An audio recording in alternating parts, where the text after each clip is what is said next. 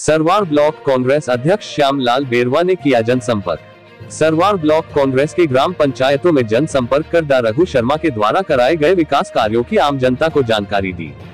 ग्राम फतेहगढ़ धानमा सदापुर, बिरला, चादुलाई, हरपुरा, कसाना और महादेवपुरा गाँवों में जनसंपर्क किया। इस दौरान उप सरपंच लक्ष्मण प्रजापति, सदापुर सरपंच रामभूल मेघवंशी हेमराज गुर्जर सूरजकरण गुर्जर, बिरला सरपंच सीताराम गुर्जर, भंवर सिंह कसाना, बनवारी लाल बेरवा, ओम प्रकाश यादव छात्र संघ अध्यक्ष करण सिंह चौधरी धानवा, राकेश बेरवा लल्लाए और रामस्वरूप प्रजापति आदि मौजूद थे।